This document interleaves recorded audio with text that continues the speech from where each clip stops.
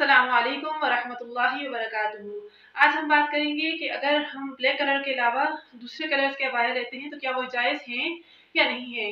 तो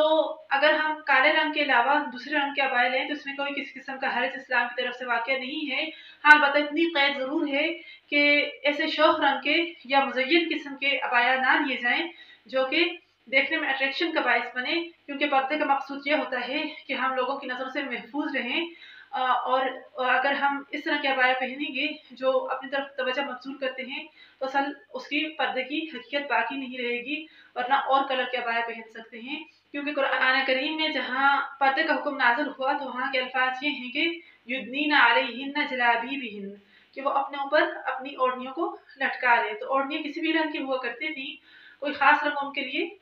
मुकर नहीं था। हाँ अलबत् मकसूद ये था कि नज़रों से पोशीदा रखा जाए तो इसलिए इसके जेल में अगर कोई किसी और रंग का अबाया पहनती है, जैसे ब्राउन, ग्रे या फिर वाइट तो इसमें कोई हर्ज नहीं है। बिस्सवाब अस्सलाम वालेकुम वरहमतुल्लाह